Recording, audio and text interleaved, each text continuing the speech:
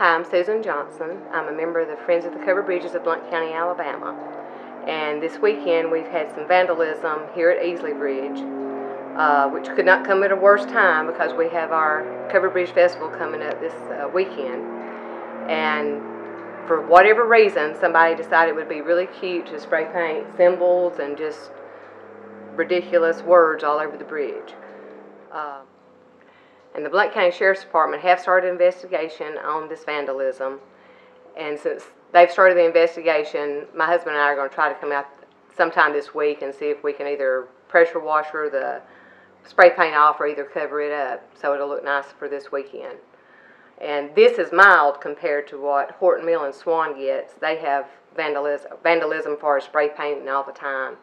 And I just really can't understand why people think this is fun. These are historical landmarks. These mean a lot to our county. This is what our county is known for. And for, you know, 15 seconds or a minute of spray painting to deface a historical landmark that someone has to come out and either try to clean off or cover up is just, to me, just ridiculous.